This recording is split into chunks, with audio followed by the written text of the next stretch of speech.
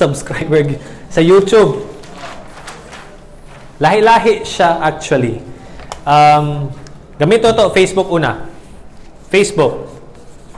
Sa Facebook, kinahanglan ka og three qualifications. Pila ka buok? Three.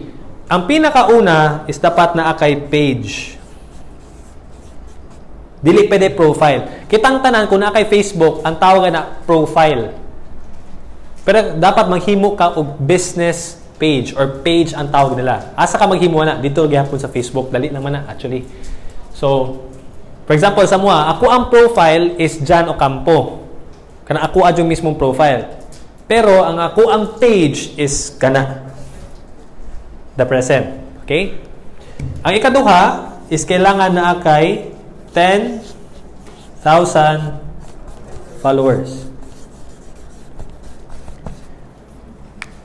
Ang ikatulo, kani ang medyo libo ka, kailangan na kay 30,000 one minute views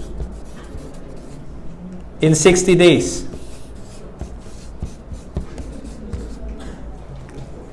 Kasi pasabot ani. Kanami tong mangingon tao, kan- kanami tong makita niyo na number of views. Kita ay katong video na ko ingon na bayari mo utang. 5.7 million views to siya. Ang meaning sa 5.7 million views is mao to siya ang tao na nitanaw for more than 3 seconds. Dili meaning na katong 5.7 million views kay gihuman jud nila ang video. Na-get so far? So YouTube. Sa YouTube duha ka buok. Ang una kay ginatawag na to na 1,000 subscribers. Yung na? Welcome back to my channel. Ano sila ba? Subscribe. Eh. Ano? 1,000 subscribers. Mo ginahimo nila. Ikaduha is dapat na kay 4,000. Na unsa? Videos. Adil bitaw. 4,000 hours.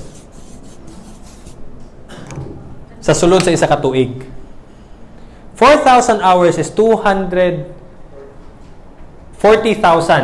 minutes. Dire is 30,000 lang. Dire is 240,000 minutes. So, mo siya ang qualifications kailangan nila first before ka ma-monetize sa Facebook or sa YouTube.